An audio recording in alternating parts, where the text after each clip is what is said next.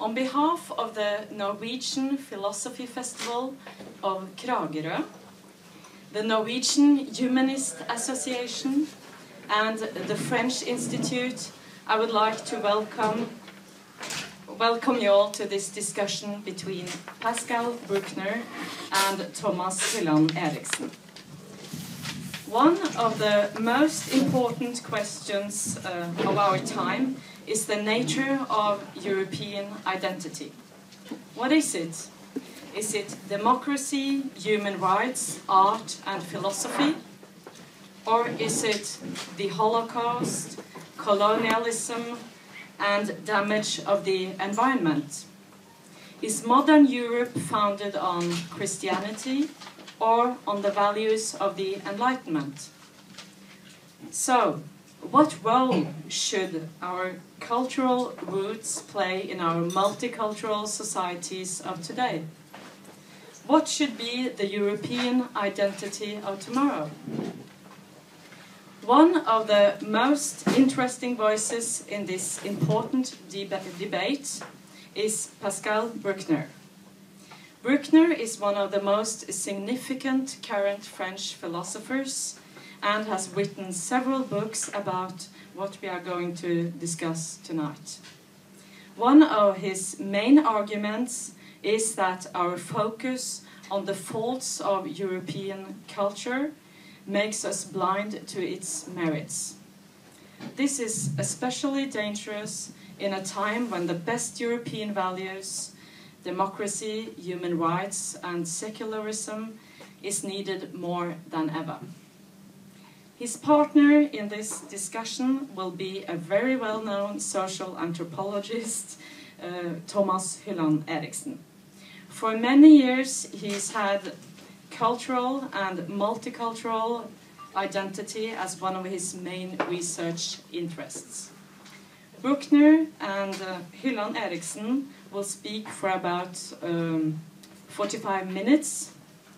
Then we'll open up the floor to questions from the audience. And we'll aim at finishing at half past seven.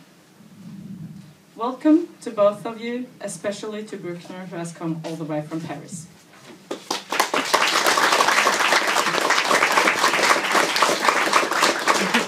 Right, well, well, thanks very much, Kaya, and, uh, thanks for, for doing this, for organising this conversation. And I must say I'm both uh, humbled and, uh, and flattered to get this opportunity to, uh, to discuss uh, important issues with uh, Pascal Bruckner, I mean, whom I hadn't met until this weekend. We were in Kragerø together, and he gave a wonderful lecture there on, uh, on love and marriage. Um, I don't think we're going to talk about love and marriage today, but rather on uh, well, not entirely unrelated issues, I guess, because there is something European about the way we think about love and marriage, but about uh, uh, our identity, who we are, what is Europe, what is Europe going to be, and obviously what we're talking about are the challenges of, of globalization, to begin with a very big word.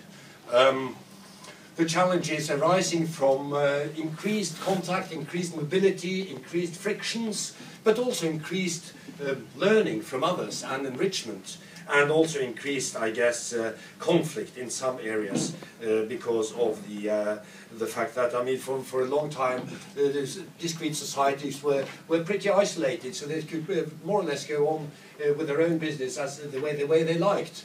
at least influences came slowly, and nowadays we we're all exposed to each other. We're all contemporaries. Everything is happening at the same time. Uh, so uh, we're all part of the same global ecumeny, you might say. And uh, what we're going to talk about, I guess, is to do with, uh, uh, with the role of Europe and the identity of Europeans in this new situation. And we're probably going to talk about multiculturalism, but let me, let me begin by another question, because Pascal Bruckner, you've, you've been writing about these things for a number of years. I mean, already in the early 1980s, you wrote a book about the expiation, the self contempt of the white man, as it were, in the face of uh, le tiers-mondisme, the uh, third world-based ideology, according to which, uh, well, to put it bluntly, everything here was bad and everything there was good, in a sense. Uh, and uh, and you, uh, then you, you called for a stronger confidence in the European heritage and, this, and a stronger belief in what Europe has produced. Now, more recently, you've written about similar topics, but, but from, a, from a very different perspective, because now suddenly you no longer have the spectre of communism, but you have the spectre of Islamism. Um, we, we no longer live in a bipolar world, but in a more multipolar world, which is a bit more confusing, more complex in, in both political and cultural uh, terms. And of course, we live in a post, I guess, 9 11 world in, in, in, in some ways. Um, some European intellectuals would argue that there is too little self-criticism in Europe. We are too confident. We should listen more to others. We should democratize uh, more the sort of the, uh, the right of property, property rights to ideas and so on. And we should monopolize the Enlightenment and try to, you know, say that these values are universal and they belong to everyone. Whereas others, and here I think it's correct to include you, feel that there has been too much self-criticism and too little confidence. Could you elaborate a little bit on this, on your position here? Oh, this is not going to be an interview. I just wanted to start no, no. with a question. No, the first question is very difficult. Um, you, you mentioned the third worldism. I think third worldism had as an ambition to succeed to uh, communism, which had failed. And the idea was that uh, those new independent countries in the south, which had just been decolonized, uh, were uh, uh, bearing the future of uh, humankind and that uh, Europe had globally failed, and that the future of humanity was beyond our uh, the ocean and in, in the south of, uh, of uh, in Africa and in Middle East and in Asia, but not not anymore in, in Western Europe, whose failure was obvious. And then in, in its turn, third worldism failed. It failed in, in Vietnam, it failed in Cambodia, it failed in many African countries where socialism, socialism had tried to implant itself, in South America also. But um, the spirit of self-criticism of Europe has not ceased since then. And uh, in some ways, and especially in a country like France, sometimes it, it turns into uh, mimicry, a caricature, and it, it tends to be uh, ludicrous. And so what I try to, to what I try to do for the last 20 years is to re-establish an equilibrium between the, the, the necessity to be uh, self-critical and to, uh, to see your society as it is, but not to be so critical as it turns into a calumny. And uh, many Europeans, Europeans, especially on the left, tend to draw a, a picture of their own culture which doesn't look like what we live every day. It is so dark, it is so, um, it is so uh, manichaean that uh, you, you don't exactly recognize the world in which you live. Yes. And um, so there is one new fact which has happened since December 2010 and which is going on in this year, which is so rich in many diverse events, is the Arab riots, which no one ever expected. Uh, so maybe uh, the Arab world is extremely far from uh, Norway.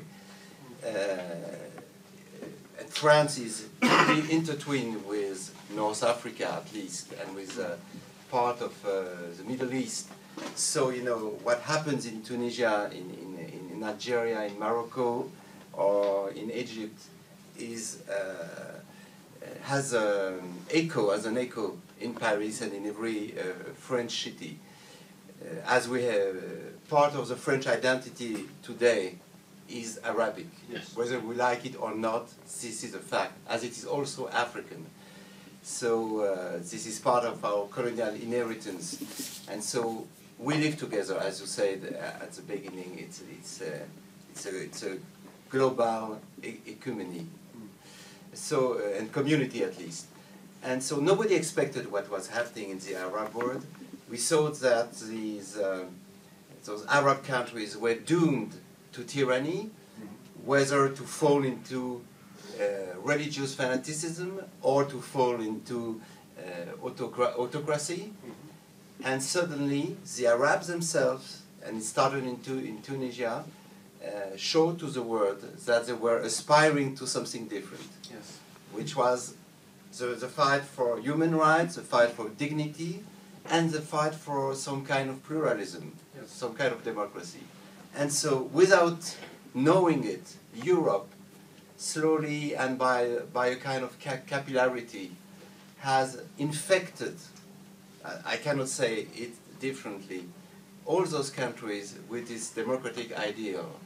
So the, uh, we have to recognize that this is also the success of enlightened values, which uh, are claimed today by many demonstrators in, in Egypt, in Libya, of course, in Tunisia, and this is, uh, in a way, so maybe someone doesn't agree with me. I will answer the question later.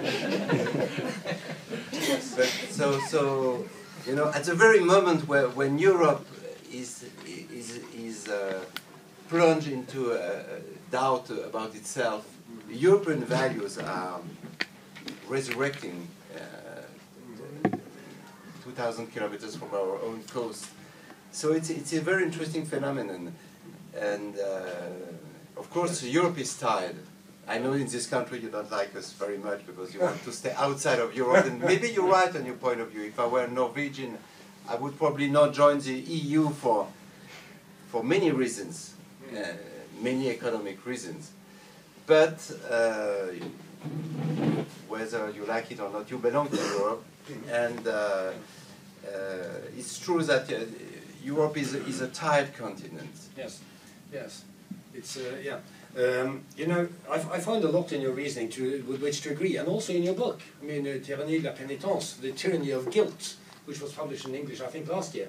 And in, in, Nor in Norwegian. Norwegian. In Norwegian. And in Norwegian, yeah. yeah. Um, what's it called in Norwegian? Botferdighetens tyranni. Botferdighetens tyranni. Oh, Yeah. Yeah, right. Hi, hi, highly recommended. And, and you make a number of, I mean, very acute observations, I think, such as the Algerians or certain uh, large segments of the Algerian population wanted the French out. But the moment they managed to chase them out, they went to France. They started to go to France. And it reminds me of something Fredrik Barth once said, who's a, who's a very famous Norwegian anthropologist and also specialist on, you know, the northwestern part of Pakistan and the border areas towards Afghanistan, where he says, and he wrote a book about the Taliban some years ago, where he says that, you know, um, of course the Afghans hate America, but everybody wants to go there. Now the question is, do they want to go there in order to become more like us? Or do they want to come here in order to transform our societies? This is a big debate in France also, about uh, immigrants, especially from North Africa and, and you know, people of Muslim faith and so on. What do you think? Yeah, so what you said just reminds me of a line which was written in, uh, somewhere on, on the wall in, I think in Paris. It said, Yankees go home, but take me with you. which, which, is, Exactly. which is true. But I would say that today, uh, well, maybe we have the time to speak later about the differences between the United States and Europe. Yes. And, and, and the more times, uh, and there are many differences in, in, in this uh, respect, but uh, the question you ask, do they want to come over to Europe to convert us to uh, radical Islam? Or, or why, why, do they come, uh, why do they want to come over to Europe or to the United States? And I think maybe we should uh, uh, put ourselves in the mind of the migrants. Why does a, a, a man or a family decide to migrate to Sweden, to Norway, to France, or to the United States? And I think there is a, I think uh, there is one very uh, simple answer which has been termed by Francis Bacon in the 16th century when he was speaking about what is the goal of science. And he said, if I recall correctly, he said, improvement of man's estate. He said the, the, the goal of science was to improve uh, the, uh, every man's condition. You know, better health, better housing, uh, more money, more security. And I think uh, every person that migrates from one place to another place has exactly this kind of idea. If Africans want to come over to Europe, when Norwegians left Norway to go to the United States in the 19th century, it's exactly for the same reason. It's a kind of calculation, you know, you know what you leave, you, you, you, and you, you, you're going to go through a lot of perils, you're going to go, you, you can die, and many people die, you know, these days Yeah. when they try to go from Libya to Lampedusa in Italy Mhm. to try to flee the war, Yeah. the civil war, and to try to, to get uh, better life conditions, Yeah. you, you, you're going to be submitted to some kind of racism, you're going to be discriminated, you're going to have to work, uh, uh, you're going to take jobs which are not good jobs, but at the end, your expectation is that your life will be better Yes. in this part of the world rather than in the village where you come from. Absolutely, and in many cases they're even able to support family members in Yeah, their they have to support family members. Yeah, it's, it's, part, it's often part of the deal. And one could also mention migrants from Mexico across to the American, to, to the United States.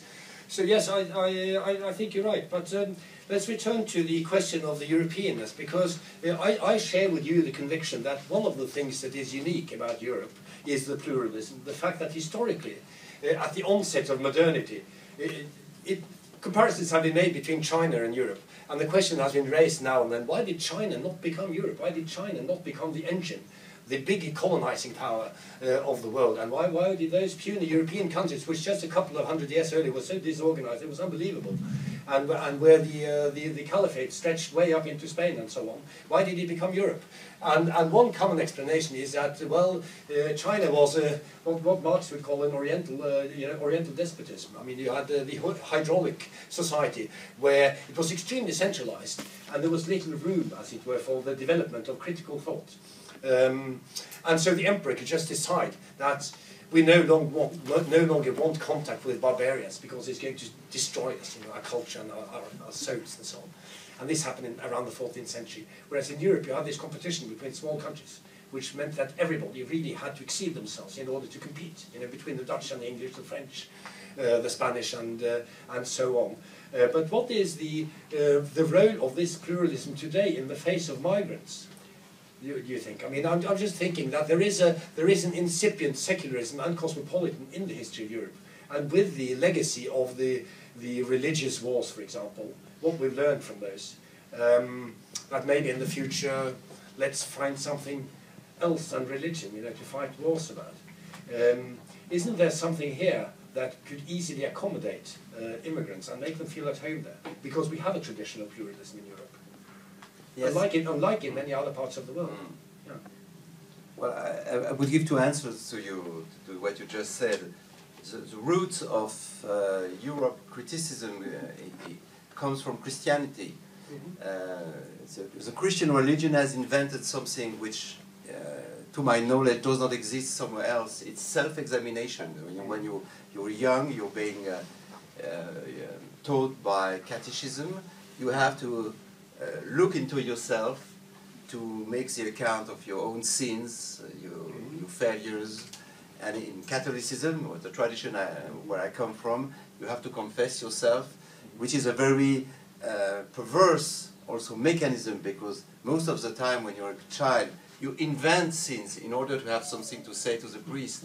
And by inventing sins, of course, you have to go deep into yourself and to, to take off the roots of your uh, uh, uh, eventual perversity. Yes. So, uh, but this tradition of self-examination, uh, little by little, has uh, developed itself un- until the Enlightenment times, and has allowed um, the, the European mind to uh, look at itself in contradictory ways.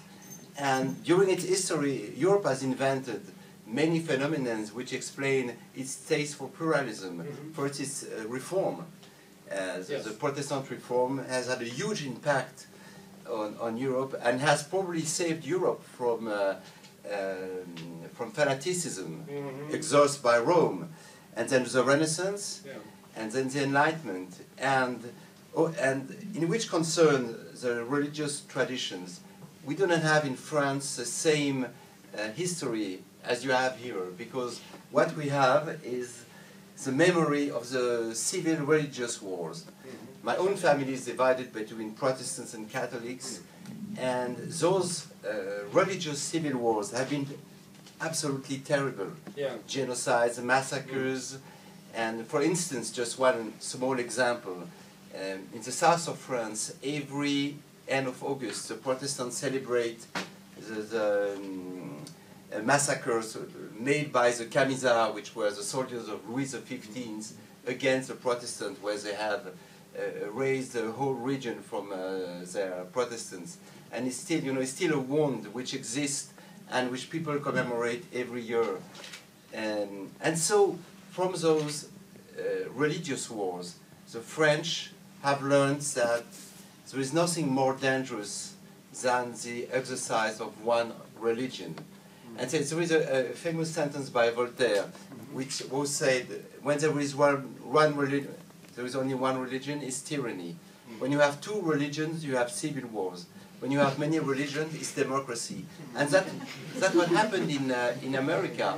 Because if the American democracy is so at ease with religion, it's because religion came to the United States in numbers.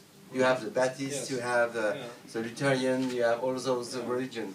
And um, uh, Yeah. so the Americans have, have uh, an, an habit of uh, religious uh, pluralism. Yes, and which also, I mean, what, were you're saying about the patterns of migration to, to America, I mean, I think I, I'd like to make two points about this, because one of them is that, um, yes, one, one may write the history of Europe in terms of pluralism, as I, as I just tentatively did, but one may also write it in terms of religious persecution. So, so I mean, many of the people who, who eventually populated uh, North America and drove the Indians out uh, were, were religious uh, fanatics from Europe. I mean, Huguenots from France and, uh, and low Christian Protestants from, from all over the place who finally were free to practice their fundamentalism.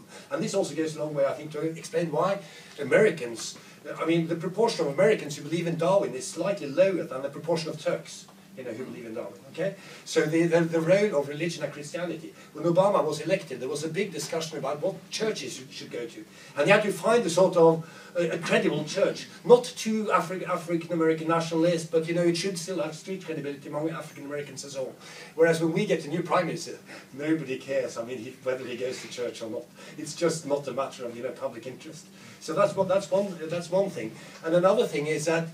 Um, you speak about uh, you know pluralism, secularism, and, and so on, and the fact of having several religions, and which is a pretty good idea as opposed to having just one. And in France, one has, one solved this simply by banishing religion from the from the public sphere. So so that's a republican tradition, which is shared by Kemalism in Turkey and by some other countries, which which is you know uh, a very it was an extremely radical take on the problem of politics and religion at the time in the in the late 18th century, incredibly uh, radical. Whereas at the same time. Um, we have a we have a situation where it is not obvious that difference is okay with Europeans. You know, in this country, in Norway and Denmark, we just have one word, okay, for similarity and equality, similarity, equality. We have one word, likhet, which means both. So in other words, in order to be equal, first you have to become similar. And they conflate it. We don't distinguish between them, even in our, even in our language. It's just that one word. So difference is a problem. Whereas in some non-European countries, if we could just move the gaze slightly away from Europe and see if other, other civilizations have also something to contribute. Uh, in India, there's a very long tradition of secularism, uh, which goes along pretty much the same lines as you speak of with regards to, to France. That, uh, of course, people should have their religion, but nobody should be able to dictate which one. And that's, you know, to them is, is, uh, is uh, secularism. And uh, faced with uh, some of the excesses of, uh, of uh, colonial rule, um, Mahatma Gandhi once was asked, famously, you know, um, what do you think of Western civilization? And he replies, well, I think that would be a pretty good idea. So, so in other words, uh, isn't there a danger in your position that it, it will just create a deeper gulf, as it were, between us and the others? Because nobody wants to build their democracy on borrowed ideas. Everybody wants to build their democracy. In this country, historians have gone to great lengths to show that democracy was really invented by Norwegians. You know, it's not an import. Yes, And, uh, and this should happen in North Africa too, don't you think? The No. Ottoman Empire and its pluralism. No, I think this will happen anyway. Uh, uh, you took the example of India. The Indians have adopted uh, the parliamentary uh, English democracy, but they have reshaped it in their own way. Yeah. And India has remained a democracy for the last 50 years, in spite of all the setbacks, in, in spite of the tension, Yeah, it's remarkable. in spite of uh, the pogroms made by the Hindus against the Muslim and by the Muslim against the Hindus, in spite of the wars with Pakistan. And that's why probably India has more chance to develop itself in a better way than China, because democracy allows the country to correct itself, to fight corruption, to fight fanaticism. So that's why my, my, my, my expectations are greater for India than they are for China. And I, I have to say that I love India on the, on, the- on, on the other side. So, so it's, a, it's a very partial view. But, uh, so your question, not your question, but you were, maybe we could go back f- five minutes to religion. Mhm. And uh, because the, the French tradition of secularism is quite different from the one in the Anglo-Saxon world. Absolutely. How did we turn secular? By a very violent struggle which lasted for three centuries against the church, the Catholic Church. Catholic Church exercised a terrible power on, on the people. Uh, just let me just remi- uh, remind you one, one fact. Um, in, uh, in the 18th century, a man in Toulouse has been beheaded because he refused to take off his hat when an archbishop was passing in the street, and he was accused to be a Protestant, and then he was uh, tortured, and uh, if, if, finally, finally was sentenced to death. And uh, the, the French Revolution is a very violent reaction against the Catholic Church. We hang priests, we destroy churches, and the same thing happened in Mexico. Uh, before I think before World War II, Yes. where thousands of Catholic priests have been uh, beheaded, killed, shot, and Graham Greene Yeah, made he wrote a, a wonderful a novel. wonderful novel, The Power and the Glory, about that. Yes. So the violence of the church created the counter-violence of the agnostic, of the atheist, which is not your tradition in Norway. And so in order to appease the situation, we have created this uh, bill in uh, 1905, separation of the sh- uh, state and the church, which worked quite well between the Catholics, the Protestants, and the rest of the society. So when Islam came on the stage in the um, 70s, 50s, in, in, in consistent numbers, so the rules were, were about to change, and many voices asked for uh, a different situation for Islam. They said Yeah. it's a minority religion, so it deserves another treatment. And uh, this is a discussion today which is going on. Should we uh, reserve a different treatment to Muslims because they, they, they come from oppressed countries, they've been colonized, and should, so should we consider the religion as being different from Catholicism and Protestantism, Yeah. or should we treat them as we treat uh, ordinary believers? Yeah, right. Yeah. And so I think, um, well, my, my, my answer, and it's only not only my answer, but it's only it's also, also the answer of many enlightened Muslims in France, Mhm. is treat Islam as you treat any other religion. Yes. We're adults, and um, maybe we will talk about uh, it later, but for instance, the, the law about the Islamic scarf, which has been voted in 2004, has been approved by uh, around 70% of the Muslim women, French uh, Muslim women. Yeah. So, um, Yes.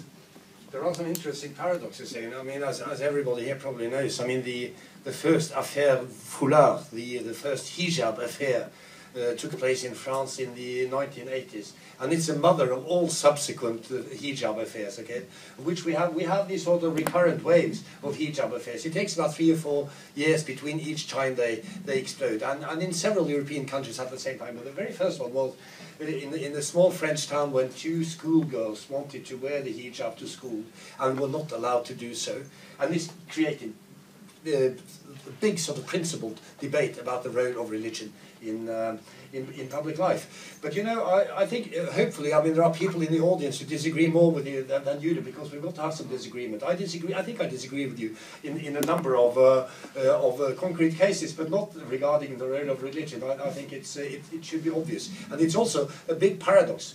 That many of the, say, the Iranians who came to, to Europe, they, they fled, the you know, a theocracy. I mean, a, a, a totalitarian regime run by, by fundamentalist priests. And, and they, they fled it. Arriving in Europe, they, they discover that they are being uh, discriminated for that which they fled, namely uh, Orthodox Islam.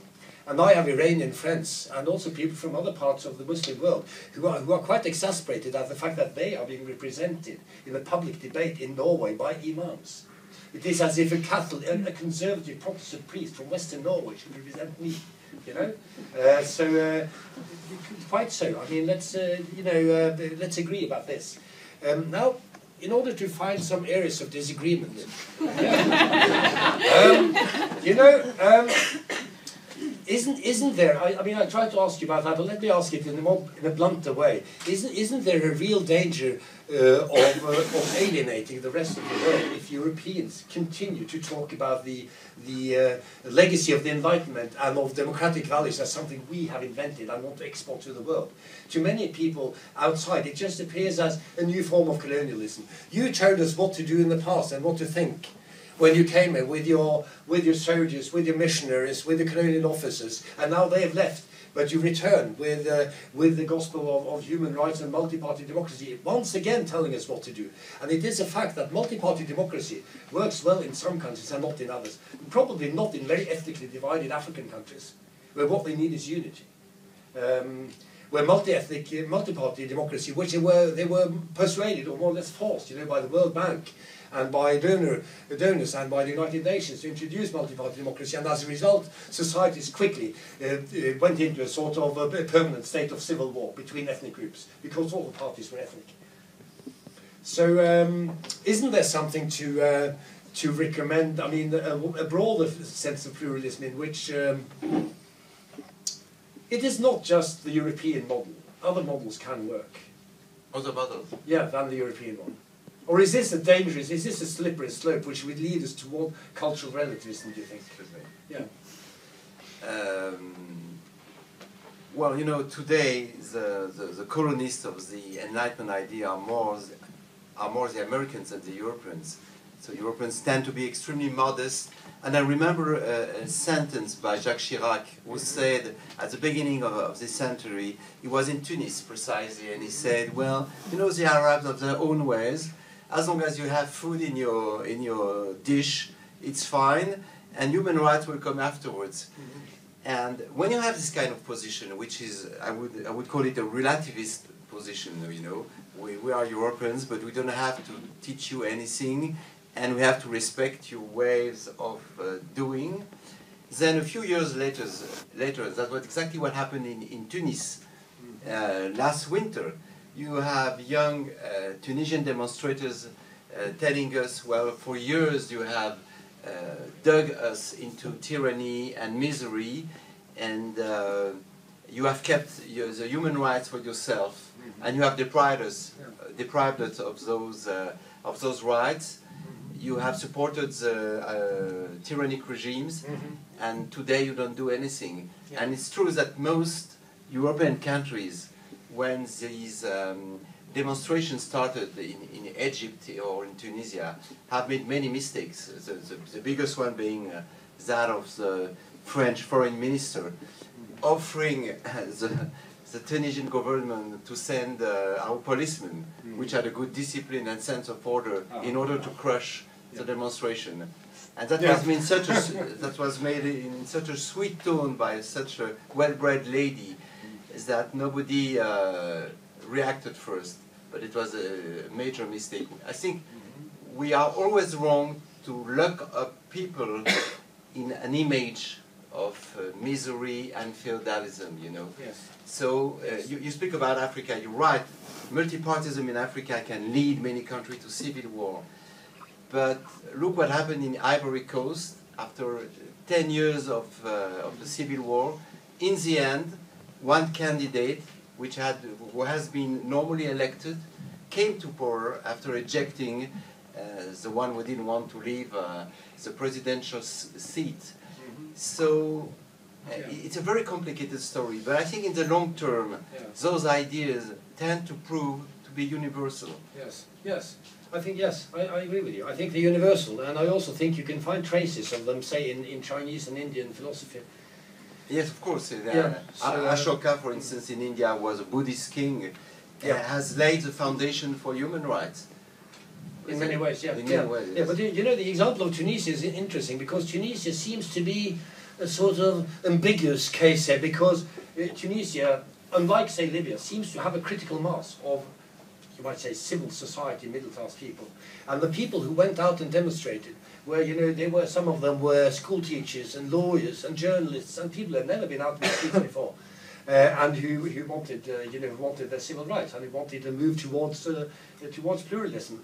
But then you, you move to countries like Iraq or certainly Afghanistan, where there was this incredible naivete on the part of, uh, of the Western powers and especially the United States before they went in, believing that you could just remove the bad people, the Taliban, and install one of ours, and then you'll have democracy. Then you'd have something which which is more, more or less reminiscent of our own society.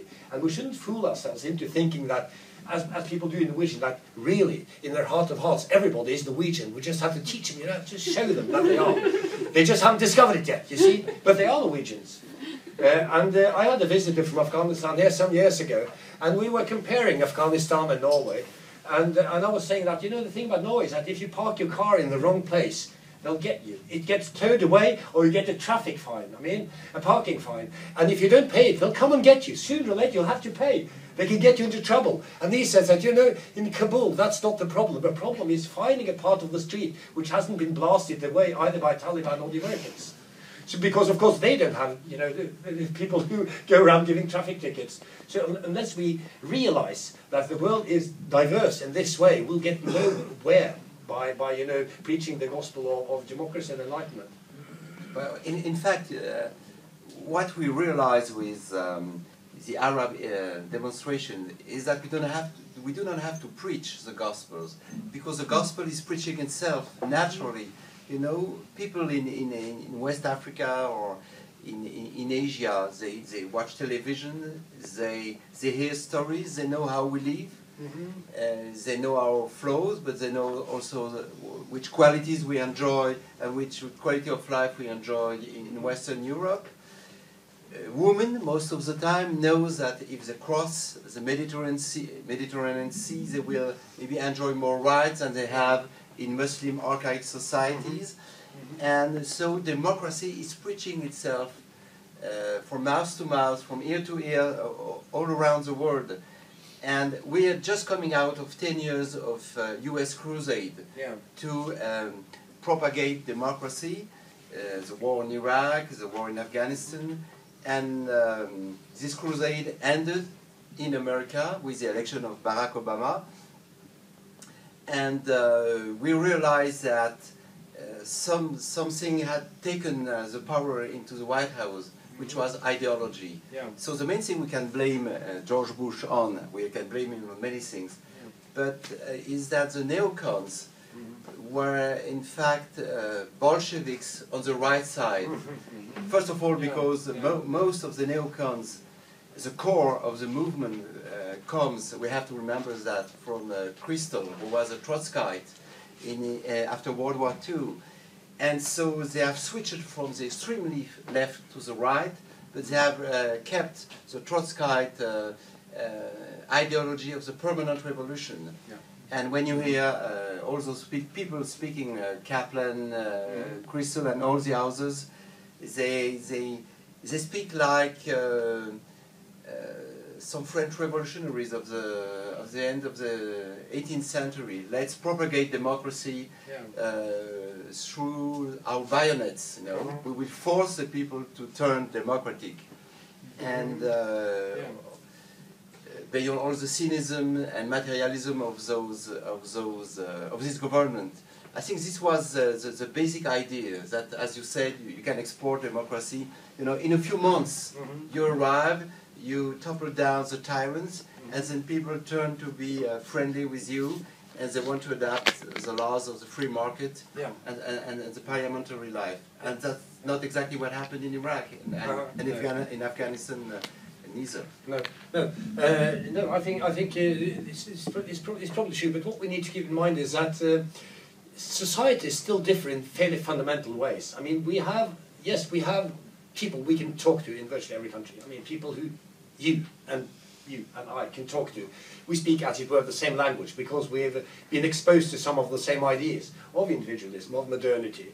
And you relate to the state, and you relate to the market, and you relate to mobility and maybe to the internet and so on. Whereas uh, lots of people are more or less cut off from this.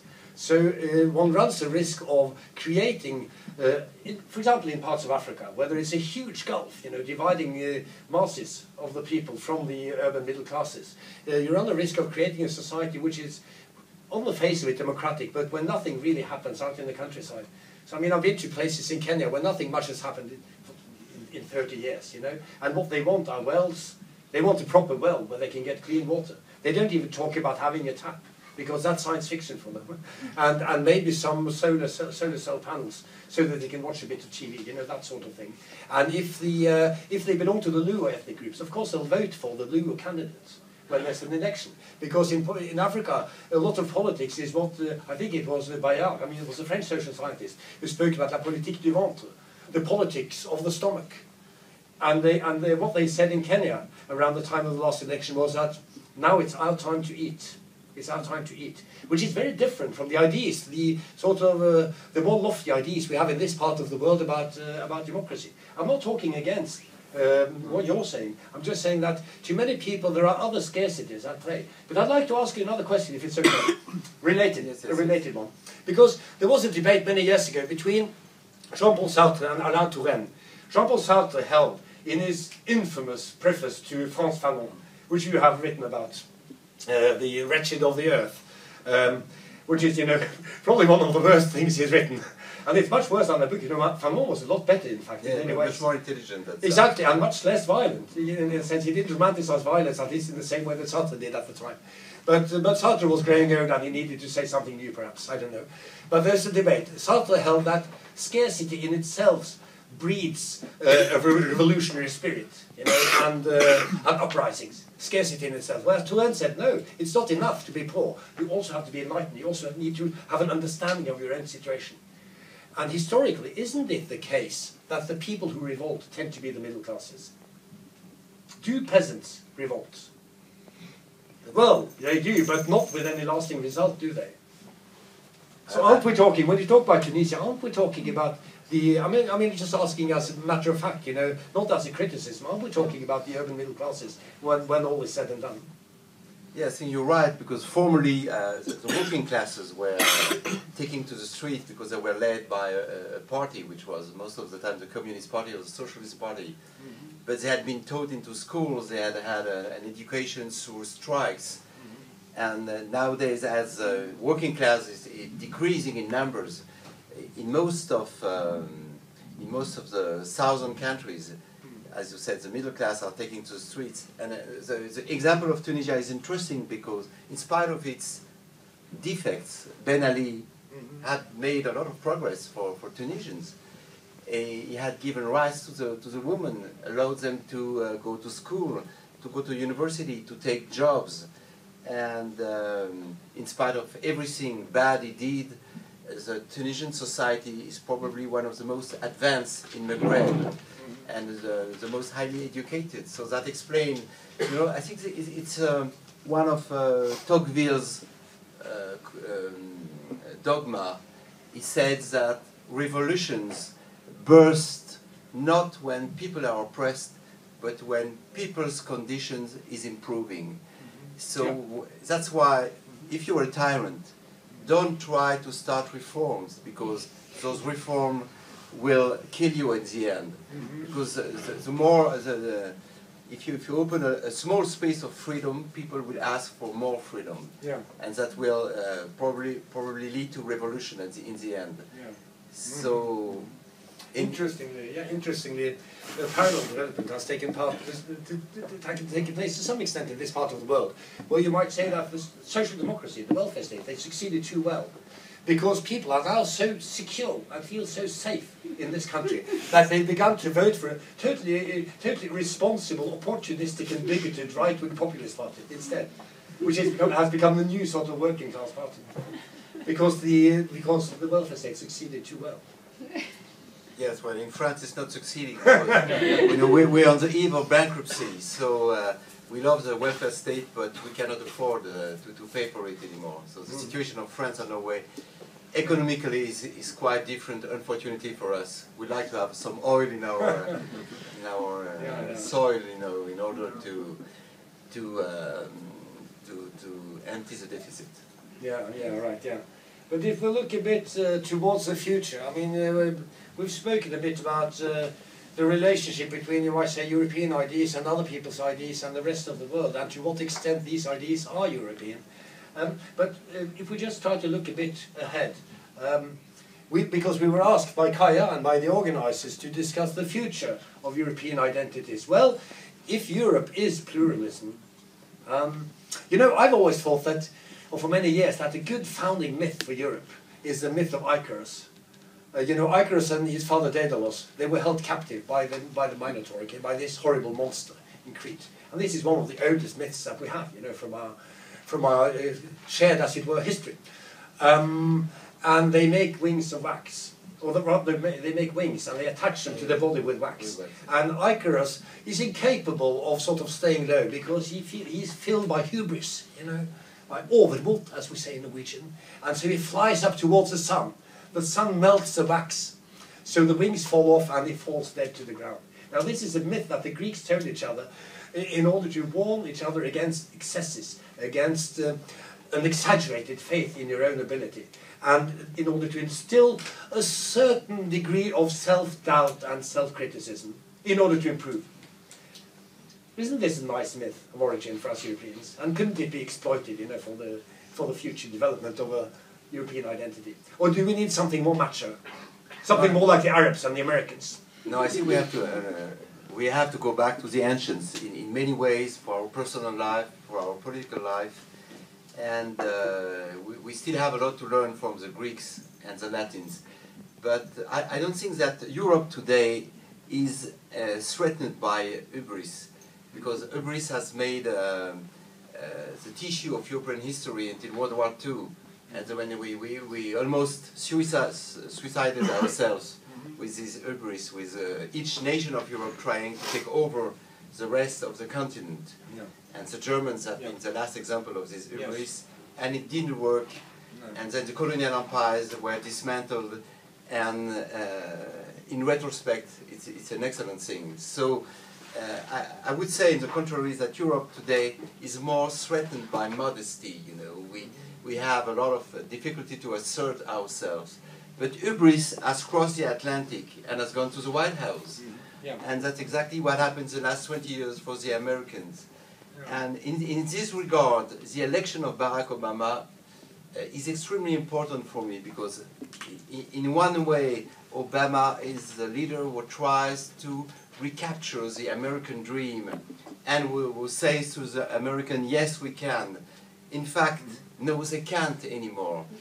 no, uh, uh, the, there is a limit to the sky. You know this English expression, the sky is the limit. No, sorry, there is a limit before the sky. And I think Barack Obama will be the president, if he's re-elected, which I wish, who will teach the American people that they are not powerful anymore, that they cannot transform the world, that they are limited, that they will be touched probably by another financial crisis in the coming years, and that, and that with all its power, all its uh, military uh, potential, mm -hmm. the American people are themselves limited. Yeah. And uh, so they should turn to soft power in, in, instead of trying to, mm. to, to persist in hard power. Mm -hmm. And I think this will, be, this will be the paradoxical task of Barack Obama. Yeah. And that, that is why he's so uh, hated by part of the, of the right, of the, of the neocons, yeah. who, who try to keep up with the old uh, aggressive American vision. Mm-hmm. And I think most of the Americans do not know yet how weak they are. They think they're still the, the best and the yeah. biggest. But uh, if there is still a lot of energy in the United States, you can feel you know, the undercurrent depression. Yeah. They have taken a blow, they have taken a blow in 9-11, and they've taken a second blow in 2008, yeah. and they will probably take a third one and now they're losing wars. They're, they're, losing the war in Afghanistan, yes. and there is a lesson to, to, to take from yeah. this. And, and, China is winning Africa and moving into Latin America. I mean, we haven't. I mean, during this conversation, we haven't even begun to talk yes. about the, the role of China, because it's quite clear that, in some sense, you know, Europe today is the western tip of the Eurasian Peninsula. I mean, if you uh, peninsula or continent, it's it is peninsula on the Eurasian continent. Europe is fairly small in geographic terms, but it's very diverse, and has, as you rightly point out, contributed quite a lot. But Europe is increasingly defined through its relationship to the outside world. So, not least the United States, which has been the major superpower for, for a very long time, and, and, and is currently the only superpower. It's not going to last long. I think China is coming in the next five, ten years or so to challenge that position and through its relation to its former empire, certainly France and, and, and, and, the UK. Um, when you meet when you meet West Africans in in, uh, in Paris, it's not the same as meeting West Africans in Berlin because they are French in a sense.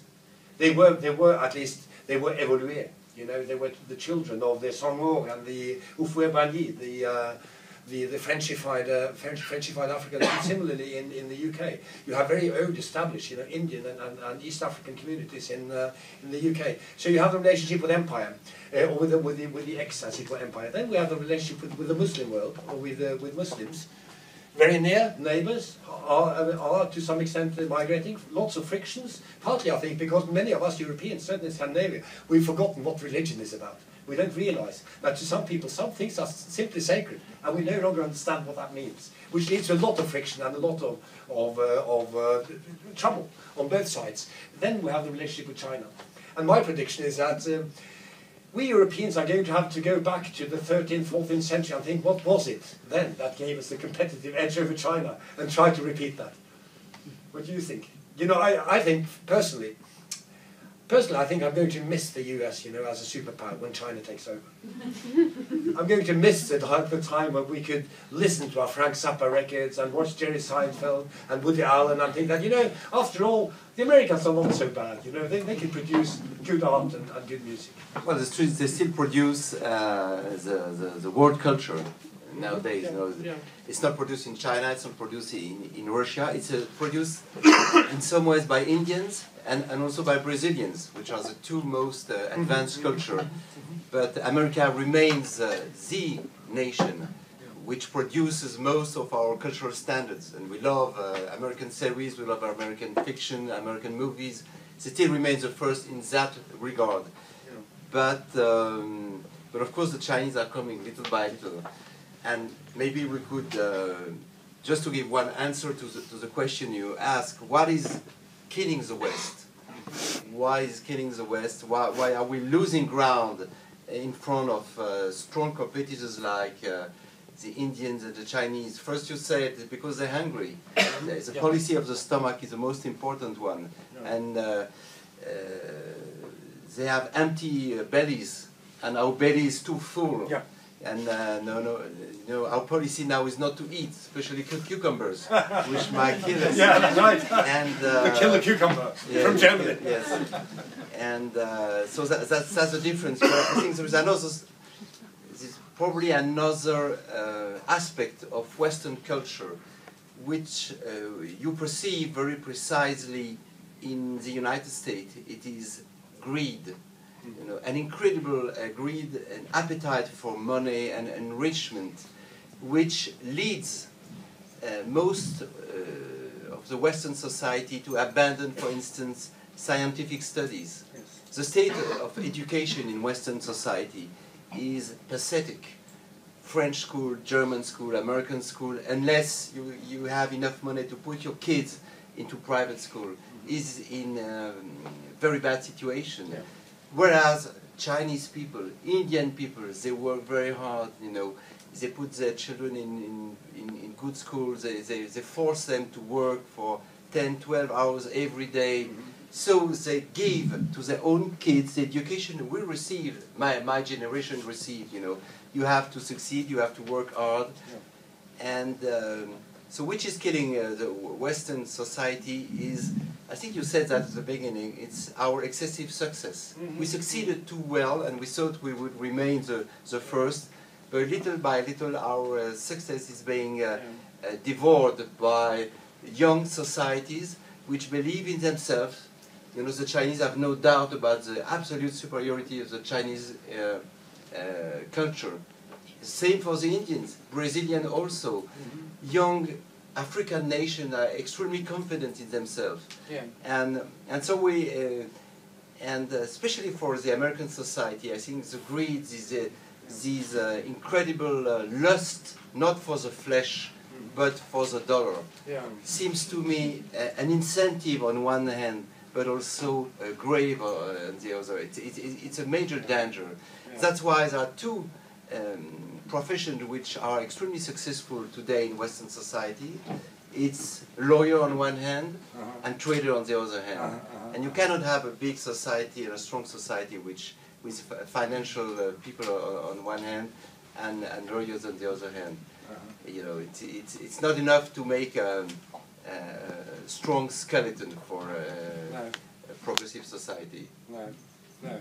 I don't And know. it strikes me, I mean, if you take, sorry, if I just, one final comment, I mean, just to, to build on what you said, I mean, if we think about uh, Marx's old theory about rising and falling classes, he had this theory about history, through history you could always trace the rising and the falling classes. So in his time, the feudal classes were clearly on the way down, and the bourgeoisie were on the way up. And he was hoping, and he thought it would happen in his own lifetime. In fact, when they wrote the Communist Manifesto, he and Engels thought that the revolution was just around the corner, that the, the working class was a new rising class, I said, when the bourgeoisie would, would decline. If we think, if we transfer this way of thinking to, to nations, it's, it's fairly easy to see that, well, Norwegians are probably not the rising class anymore. I mean, we, in Nor- Norway, like all of Western Europe, is, is, is full now of people from Poland, Lithuania, and other, other people from the new member states who come here and, you know, who do all kinds of work who work long hours. I go to Poland sometimes, and I notice at the rush hour in the afternoon, it starts at 6 p.m., you know, and here it starts at 2.30. Yeah? People start leaving at work. And on Friday, it starts at noon. You know? So, uh, yeah, as, as a sort of a picture of, of the way the, the world is going. And the Chinese, you have this notion that so many builders, I mean, people working with in construction, okay, in Poland are now working in the West, that they have a hard time finding people to build new houses in, in Warsaw. So they get they, they hire in companies from Ukraine who can do it more cheaply from Ukraine. But the question is, what are the men going to do in Ukraine? Well, they hire in people from Kazakhstan. And but what the Kaz- Kazakhs, you know? And sooner or later, in all these sort of chains of, of import of labor and of, of exchange rates, you know, uh, differing exchange rates, there are Chinese at the end. Or maybe Indian. There are Chinese at the end of all of them. So who are the rising, uh, who is the rising superpower? I think there can be no doubt. Yes, but even in China you have strikes to get better salaries. That's and true. just that's a major change in Bangladesh also, in many uh, poor countries. So there will be an equilibrium at the end, you know, because all those people, they work Yeah. hard, but they work hard to live better. Exactly. We should never forget this. Those people do not come uh, in Europe or i- in the United States to invade us. They, they come to improve their lives. Exactly. And that's, we have to see them as, uh, you know, a, a migrant is a modern entrepreneur. Is is someone who has made a calculation. It- it- what do I lose? What do I gain? And um, that's what we, we, we, we should understand when they arrive, you know, in, the, in on our coast or. Uh, the- Yes. I think Kaya wants us to. Uh, okay, Thank you very much, gentlemen, for this discussion. And uh, now we'll take uh, questions from, from you. So could you please direct your questions in English? Okay. Yeah, Mr. Yeah, it's for Mr. Bruckner. You stand up and speak loud. Yeah, speak loud. I, I, I read an article a, a few months ago on uh, on your essay called "The Art of uh, Suffering" in Harper's Magazine, and it made me think about how it could be different the perception of suffering in Norway compared to France, two European countries. So I was wondering if you could, if, from what you know of Norway, if you could compare what the perception of, suffering between these two countries or societies would be. Well, on, on the aspect of suffering, I think we're very close because uh, for me, uh, Norway is in Europe. And the essay was about the duty of happiness in the Western world and how the right to be happy has, has turned uh, after 68 into the duty to be happy. And uh, what I try to say in this essay is that uh, after the Enlightenment period, by posing happiness as the only horizon, we have totally uh, discriminated the experience of suffering, which was the basis of our religious faith in the ancient times.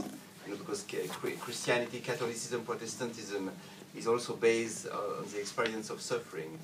And uh, by, uh, by uh, posing the uh, happiness as the only horizon, we do not know anymore how to deal with suffering. You know, all religions deal with uh, with pain. You know, Catholicism, Islam, Buddhism, Hinduism, they all explain why we have to suffer in order to, to be humans. And for the first time, the Western societies uh, try to do the contrary. Uh, suffering is an should be an exception, and happiness should be the norm.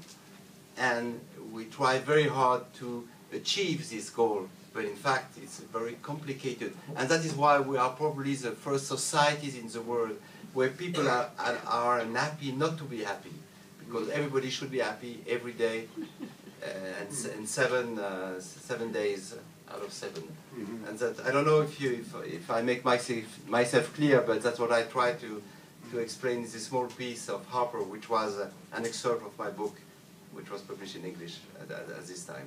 Yeah, just very quickly to elaborate, because I, I, I noticed that uh, Norway being a, a Lutheran country compared to France, mainly Catholic, I believe the perception of suffering is, is different. This is my perception, so I was just wondering if you, if you had a different one.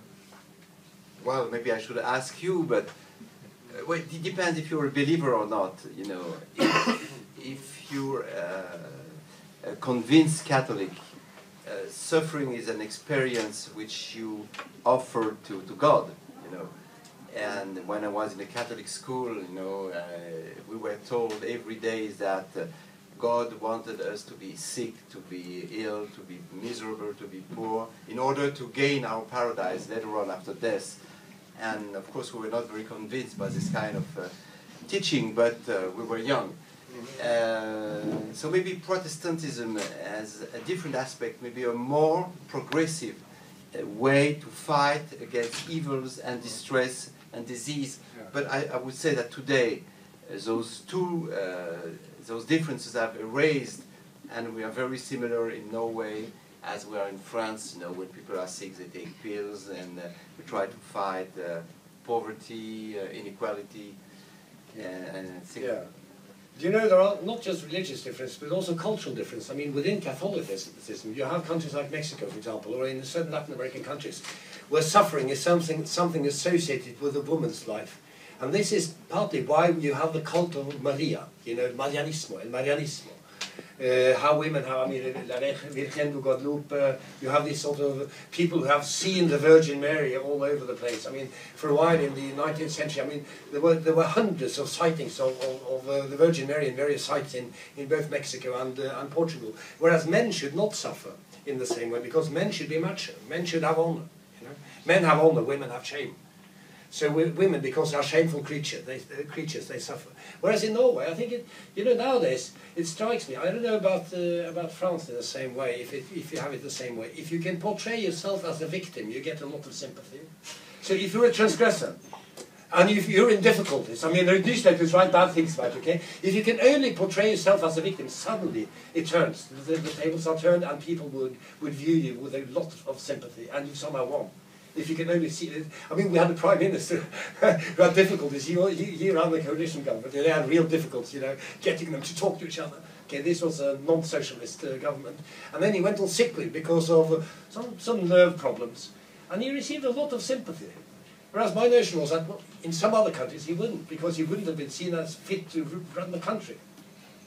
Yes, I think this is a common uh, trait of uh, Christian societies, which is the sympathy given to the victim that you just said, for a, for a very simple reason, is that uh, uh, the central symbol of this religion is the Christ who has been crucified. So, um, uh, so the Christ has become uh, the symbol of all victims. You know, every victim can identify himself with Jesus Christ because he has been tortured, he's been despised, he's been uh, flagellated, and he's been killed. And in the end, and uh, victimology is probably is probably a perversion of Christian societies, and which has been reactivated with World War II, when the Jewish people has become the symbol of the victims. Yes. And that, is, that explains why today the Shoah, the Holocaust, has um, is a kind of label, a brand that every minority would like to appropriate for itself.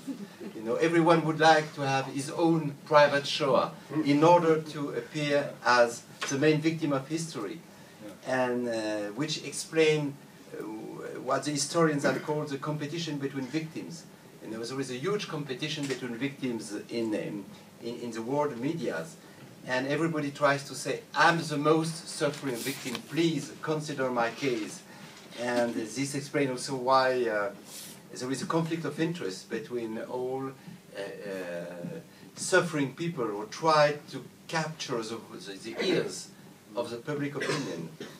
And uh, so, on one hand, we are uh, people obsessed with happiness, comfort, well being. But on the other hand, we, we would like to attract sympathy uh, through our own sufferings.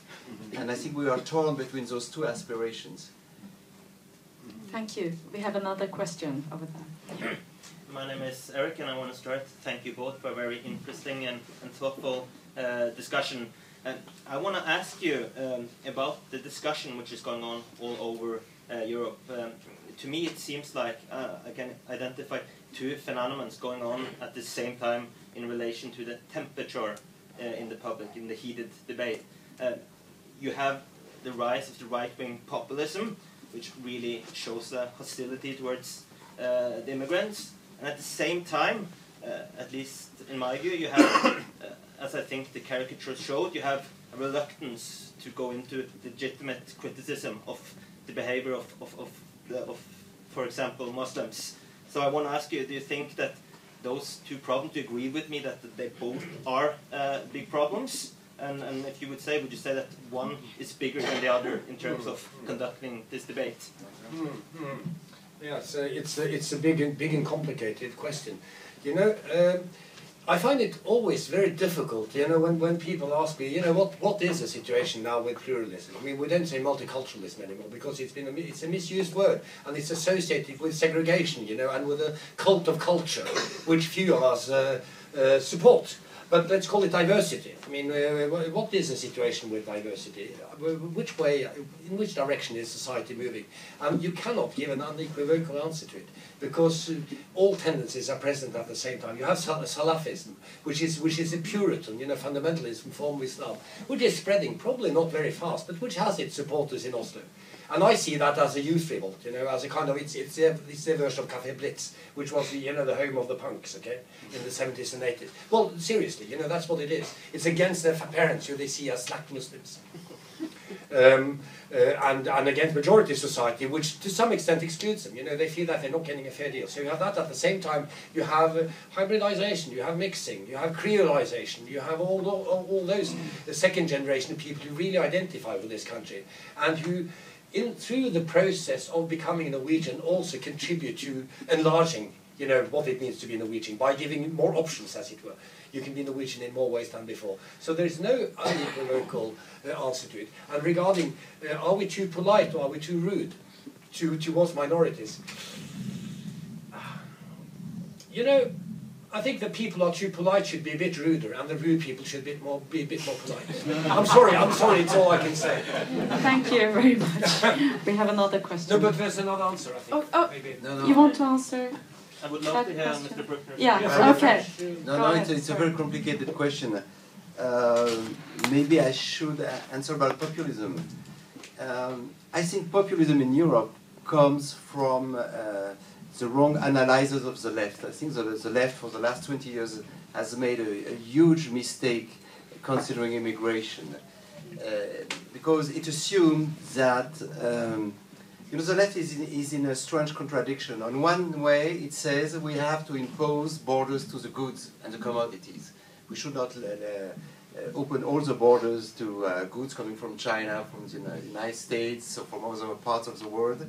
But we should open the, the borders for every kind of foreigner who wants to, to come in our country. And why, why is that? It's because, especially in France, but maybe it's the same in Norway, social democracy has become it's a party for, for the middle classes. Mm-hmm. And the left has lost the working class.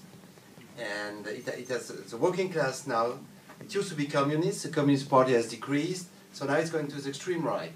Because only the extreme right gives those, this working class the impression to defend its own interest. And why is it so? It's because who is suffering of uh, immigration? It's not the middle classes, which, which is lives in nice areas in, in cities or in the suburbs. It's uh, people of the, of the, the working class which receives uh, you know, waves of uh, Africans or Arabs or you know people from every country, and which enters in a, into a deep competition with those people who, who are ready to work for smaller salaries, who do not uh, join unions all the times, and uh, who do not have who do not share the, always the same culture, and. Uh, had the left made a better analysis of the new situation generated by uh, the migrants, it, uh, populism would have not uh, appeared as it, it, appears today in Europe, in most of European countries. Second point is uh, uh, the thinking about Islam. I, I, made, I mentioned it before, but uh, you know, we didn't see Islam as a strong monotheist religion. We saw it as the expression of the oppressed and the wretched of the earth.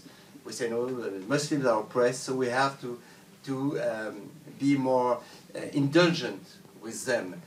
And uh, for instance, the violent uh, verses in the Quran should be taken not as uh, uh, ordinary um, speakings, but sh should be taken, you know, as, as something unimportant.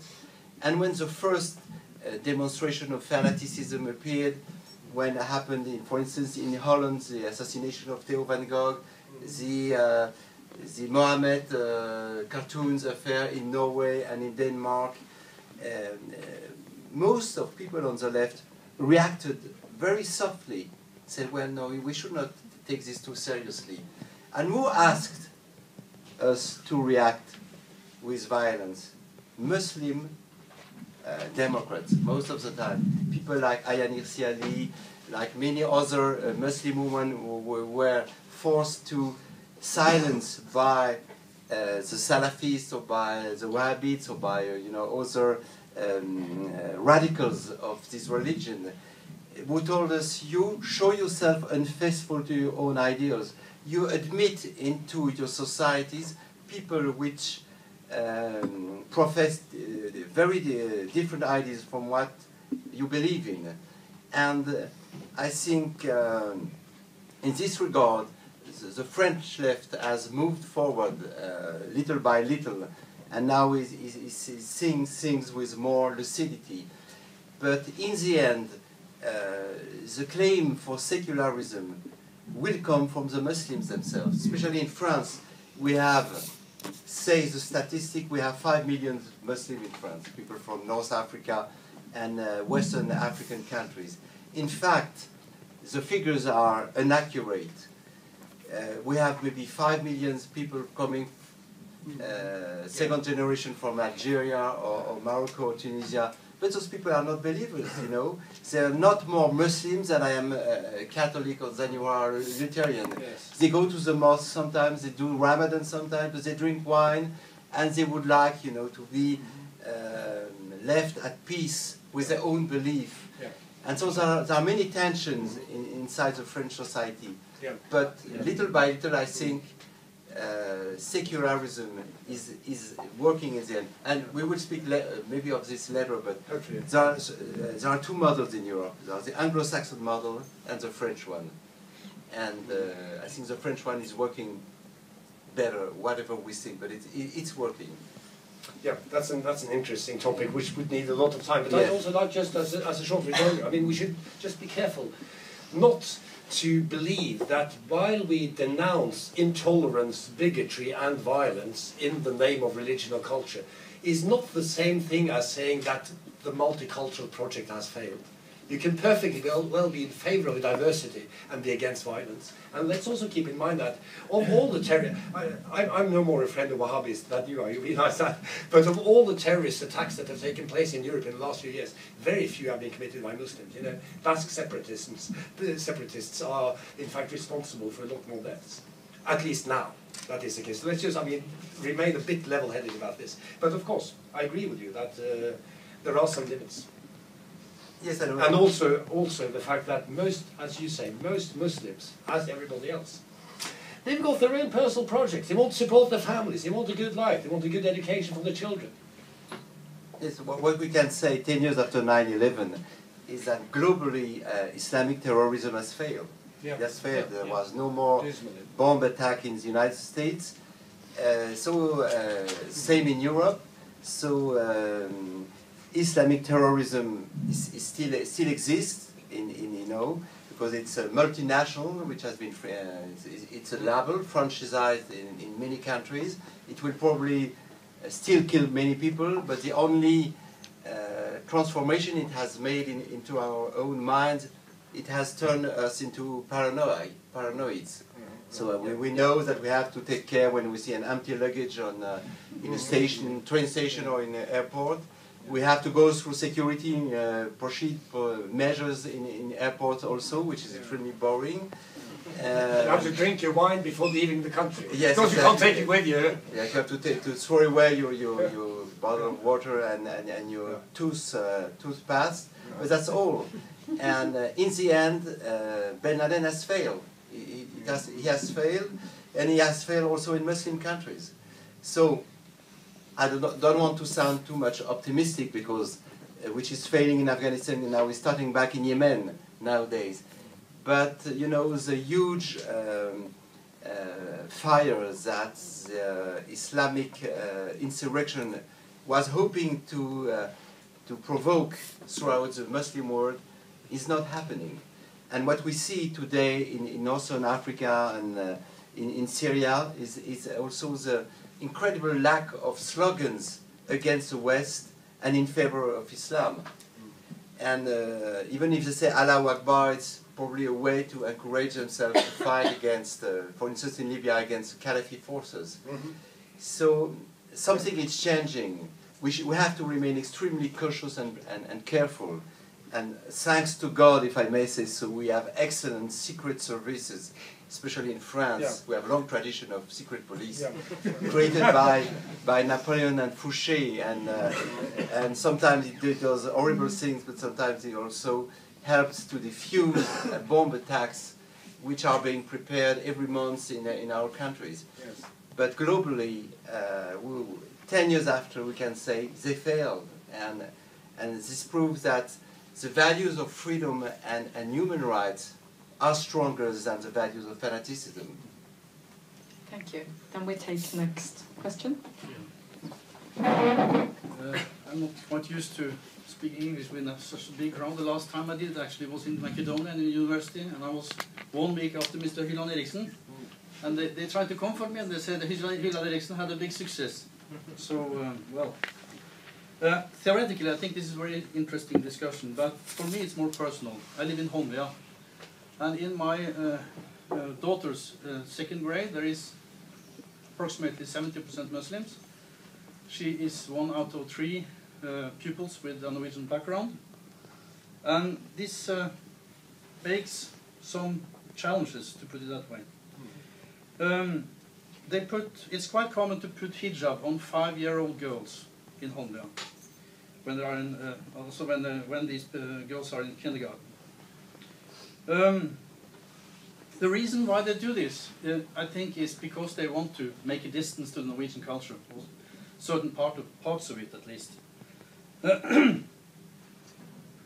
um, as far as I know, it's not common to put hijab on five-year-old girls in Muslim countries. So the, the question is why are they're doing it.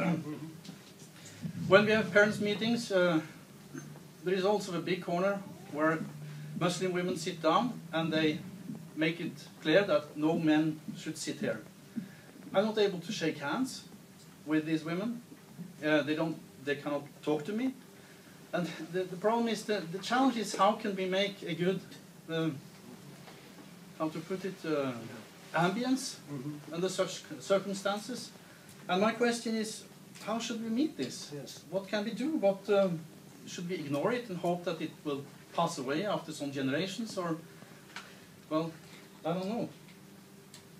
Thank you. Yeah, well, you know, the, the, he- the hijab is a, is a modern phenomenon, just like the Norwegian folk dress.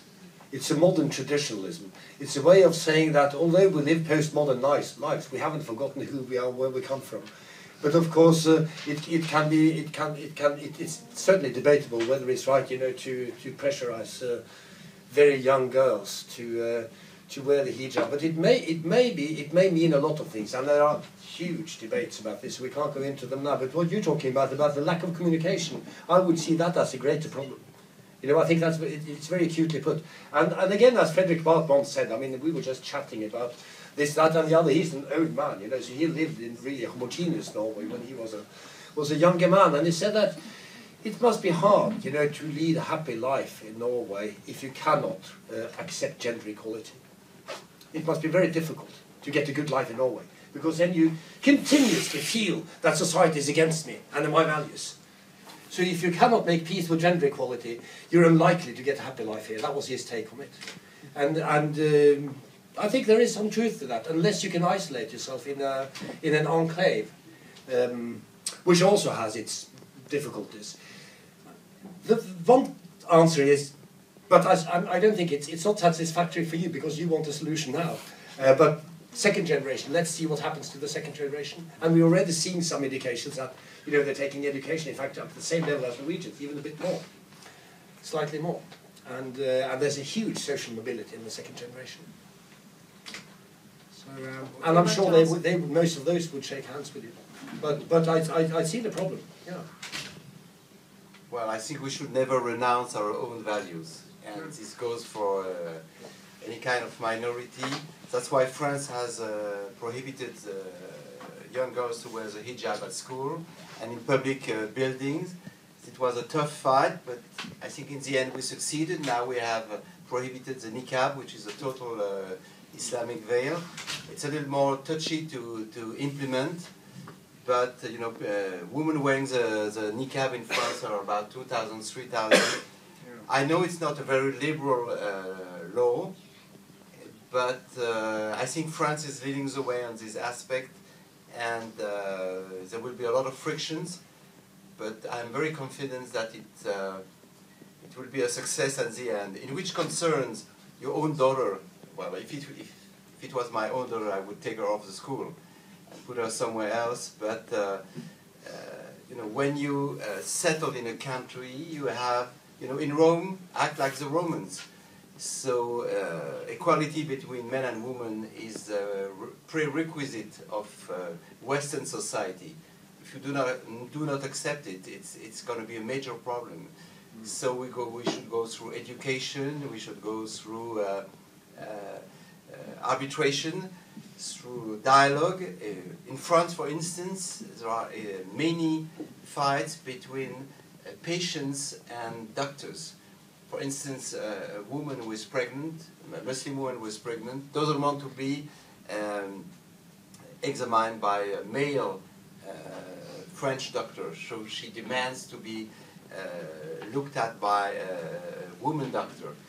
And uh, many times in, in emergency room or in a pediatric room, you have uh, husbands threatening doctors, you know, to, to kill them if they, they, they look at their wives. And uh, so it's a very long process. But of course, if you don't want your daughter to be the victim of this long process, uh, there are probably better ways for, for you to, to, to, to make her education. But uh, in the end, we should be confident. But to be confident in uh, the transformation of those migrants, you have to uh, profess your own values with pride. And that's exactly what's the problem with Europe. Europe doesn't believe in its own values. It always says, "Oh, I'm sorry," you know. That's the way we do here. But if you want to do differently, please. I don't want to impose anything on you. But in which concerns uh, equality between men and women, I think there should be no toleration. You know, uh, a woman should be able to shake your hand. You should be able to do it. And in which concerns the hijab, I had a, um, I had a speech with Tariq Ramadan in 2004 on the French TV and I say I love the hijab. You know, I love it so much, and I would like to wear one myself. And I suggest that uh, you, Mr. Ramadan, should wear hijabs too, and everyone, men and women, we should wear Islamic scarves. It would be so nice. And the fashion could go into this new market. Yeah. And uh, Christian Dior, Prada, uh, Armani should make hijabs for everyone, even for kids, and why not for animals? And of course, uh, you know, and uh, one, I, I, I never understood why um, derision, uh, derision and mockery uh, could be not considered as political weapons. And uh, we could, we could make demonstration with, uh, you know, with niqabs, uh, all dressed in, in, in black uh, dresses. Yeah, you know, what I wonder is how do they get their passport photos taken and what do they do when they go through security at airports if you wear a niqab? What do, what do, what do their passport photos look like? I, I, don't know, but I think they, now they're forced to, to show their faces, at least at the customs. And, but it's going to be a very uh, complicated issue and an, an economic one because you know most of the customers in Paris in a, in nice five-star hotel are people from Saudi Arabia and uh, people from the, the Gulf states, and you know so we're afraid to lose their money, and uh, if we ask them to take off their, their uh, niqab, but I think there will be uh, there will be compromises, and after all, we have to, to, to know that the niqab is not a Quranic prescription, and uh, uh, the Imam of Al Azhar, which is a great Sunni university in, in, in Cairo, prohibited the niqab. So you know it's a, it's it's a tacky question, and uh, it's not only the Republican fanaticism, as the Anglo-Saxon said. The New York Times made a headline page two months ago, which scandalized me. He said that French are turned Taliban because we had uh, passed this law about the niqab, and uh, frankly, uh, it's it's really a, a little exaggerated. Thank you. We have two more questions and five minutes Yes, left, so okay. go ahead. Uh, I would like to ask both gentlemen about something I, I thought about when Mr. Bruckner mentioned that the, the culture of uh, succeeding and hard work and uh, and making some making something on your, of, of yourself is not uh, threat or, uh, or maybe it's demising in Europe. Mm. But I would like to point out that this culture is still quite strong in Eastern Europe, which is mm. a pretty large part of Europe. And when I'm talking about hard work now, I'm, I'm not talking about the construction workers. I'm mm-hmm. talking about highly educated young people. Mm-hmm. Uh, it might be difficult for Norwegians to, to see them among all the construction workers, but some of them are actually here in Norway. Uh, and that's why I, I would like to ask you what, uh, how, how do you see uh, the role, because you, you were mentioning the uh, you were mention, mentioning China, India, Brazil, and African countries as upcoming uh, superpowers. Uh, how do you see the role of Eastern Europe? Well, you know, uh, I, I think, you know, that on the whole, the opening up that we've seen since 1989 has been wonderful. And that that creates more social justice globally. Because it levels. I mean, as Thomas Friedman quite correctly puts it in his otherwise very superficial book, but, but a good read, you know, The World is Flat, uh, that the, uh, the playing field is now being leveled. We, and, and as a result, in some Norwegian university departments, we just read in the local newspaper, more than half of the uh, PhD students are from East Asia, in, in computing, mathematics, and so on. Uh, and uh, we're going to see massive influx, you know, from Poland, Ukraine, Russia, as well. So um, yeah, maybe the centre is moving eastwards. You know, it used to be the London, Paris, Berlin axis. Okay, before that it was Rome, before that Athens, and uh, even before that it was Baghdad and uh, and uh, or, or, or you know um, uh, Mesopotamian cities and uh, and so on. So maybe it's moving eastwards. That's it. That uh, the uh, in, in 2050 maybe the main axis is going to be the Warsaw Beijing axis. That will, the rest of us will have to relate to. I wouldn't rule that out at all because I see the same thing as you. That there is a movement there, and that there, there is a sort of a complexity in the culture of many Central East European countries. Yeah.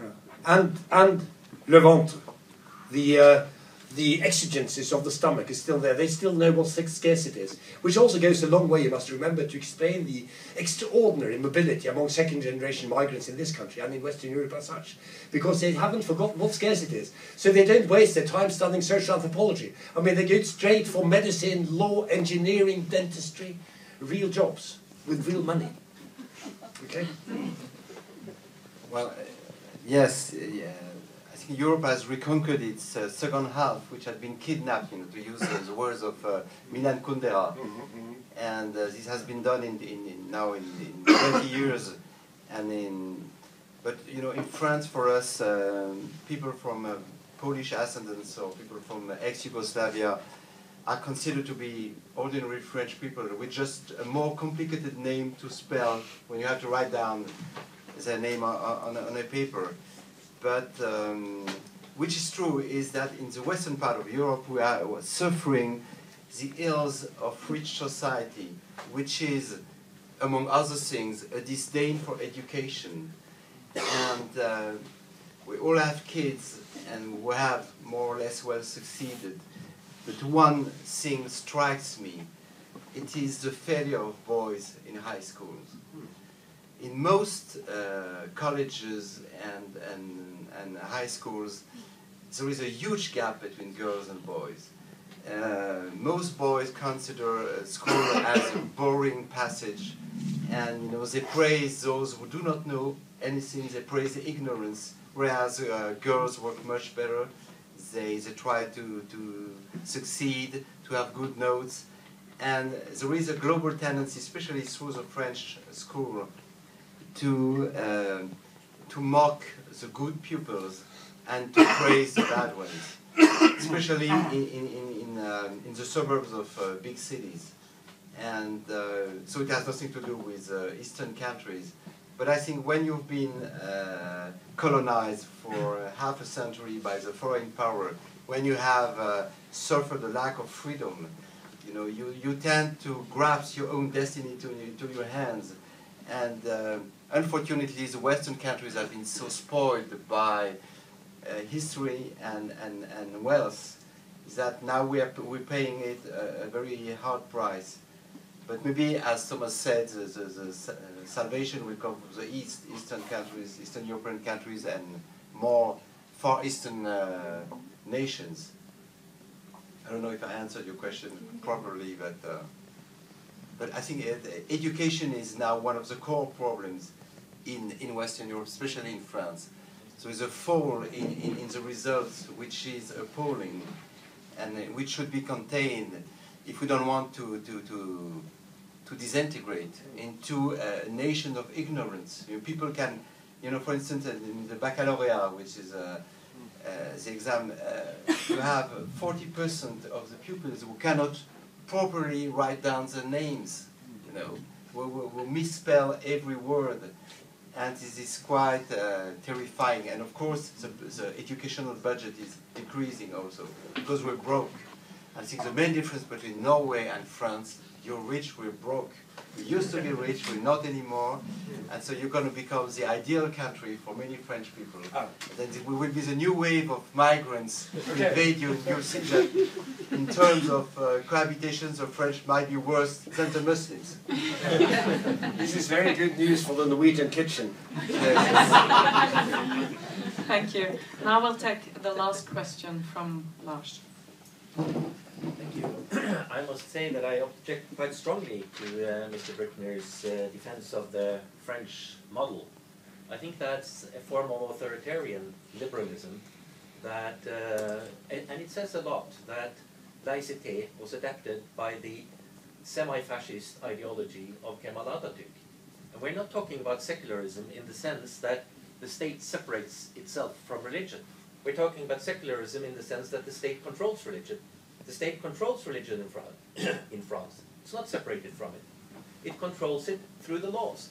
It controls it by owning the churches and the synagogues. And since those are old institutions, they lend them back to the Christians, Catholics and Protestants and the Jews. But since the Muslims are fairly new, they don't have any institutions. So if we're going to talk about equal treatment, even though it's going to be a controlled treatment, then new religions have a lot to demand from the states. The French operate with a, a, list of dangerous sects, which leads to discrimination. This is a lot of fairly innocent organizations are on these lists, and they are discriminated against. They are, in a sense, persecuted by central and local authorities. This is not a model for the future of a plural, pluralist society. You cannot force people to be free. If you have a tradition that says, wear the hijab, people will wear the hijab. And who are you to say that, no, I'm going to teach you to be free? This is a paternalism that I've seen in a couple of articles and interviews that you object strongly to.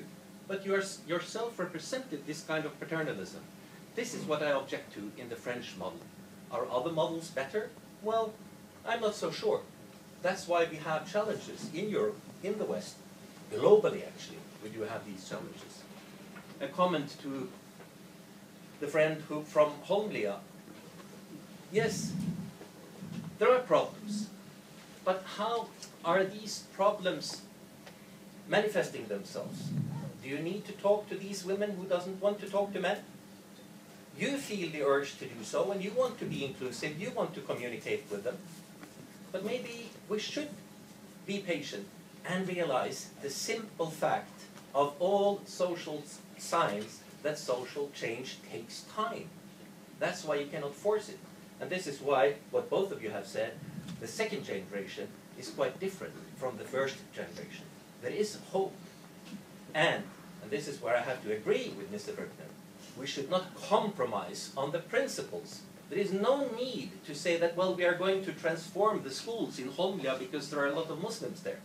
We stick to our principles because we believe they are right.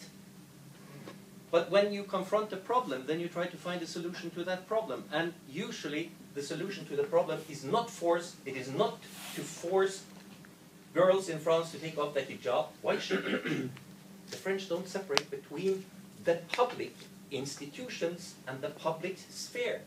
You can rightly say a judge should not wear the hijab, but why shouldn't a pupil wear hijab? Why shouldn't people be able to walk dressed like they whatever they want to wear on Champs-Élysées. What's the problem in that?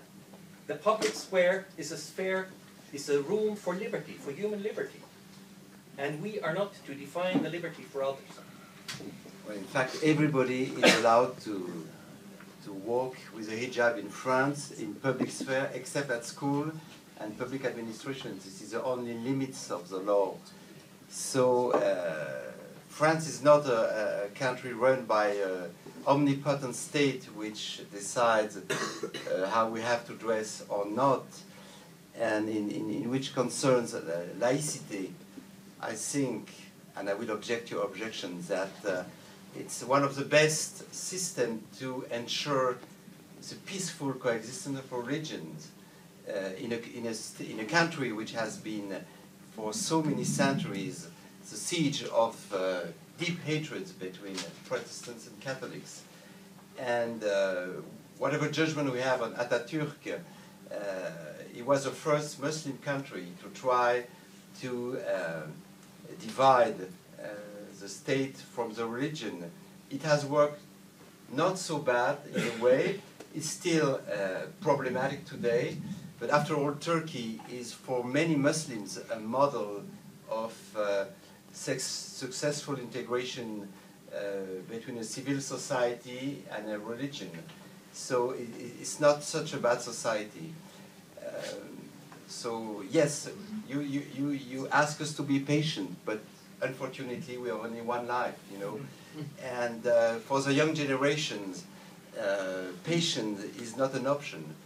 Uh, especially for, uh, for instance, take, I will just give you one example. Uh, I, am teaching in France in a political institute, and I had a student uh, coming from the suburbs. She was a, a, young girl of 20, and she had two costumes, one for the suburbs and one from Paris. So she changed herself into uh, the toilets of the of the train, and in Paris she was, you know, in, in, in, casual dress with jeans and shirt. And as soon as she, she had to return home, she, she put a hijab and, and the dress and she, as she told us, if I don't wear the hijab, I will be treated as a whore. I will be uh, insulted and maybe attacked by the, the guys in my, uh, in my uh, city. And so what can you do in, in, in this situation? Of course, uh, you can do much, but uh, you also have to take into consideration the aspiration of those young generation which want to succeed, which are Muslims by faith, which respect their own parents and tradition, but which don't want to be forced into uh, something they consider a little archaic. So what can we do in democratic societies? You said there are principles on which we cannot compromise. Yes, those principles are extremely simple. Equality between man and woman, no excision imposed on young girls, uh, no forced marriages, which is one of the most scandalous things in, in, in uh, those societies, and uh, free permission for girls to go to schools and to go to universities if they have the aptitudes to do it. And uh, this should be the common basis. After, uh, after that, we can discuss the differences between the Anglo-Saxon model, which you have here, and the French yes. one. Yes. And we both have, uh, they both have qualities and they both have flaws. But uh, on those common grounds, there should be no discussion possible. And when you go, when you migrate to society, if you tomorrow you, you go live in the States, or if you go to live to, you go live in to South Africa, you will have to respect the ways and manners of those people. You cannot act as if you were just transplanted into a, another society and you will keep exactly mm-hmm. the same ways of mm-hmm. life as you had in your former society. If I settle in Oslo tomorrow, mm-hmm. I will have to respect, you know, some aspect of your of your traditions also. I will, I, I will not be able to behave as a Frenchman. See what happened with DSK recently. So that's something I will not be able to do in this society. yeah, yeah. He thought he was still in France. And will, if I do that, will ask me to, to go back to my country. So you know, uh, so we should uh, at the same time have a tradition of uh, hospitality and interest towards other cultures, because after all, those, those uh, foreign cultures are extremely interesting. But at, at the same time, we have uh, we have principles, and we will not uh, compromise on those on those ideals. Yes, this is frightening. I find myself in agreement with almost everything you I- I'm say. sorry. We have to take we have to take another round and get have some more disagreement next time.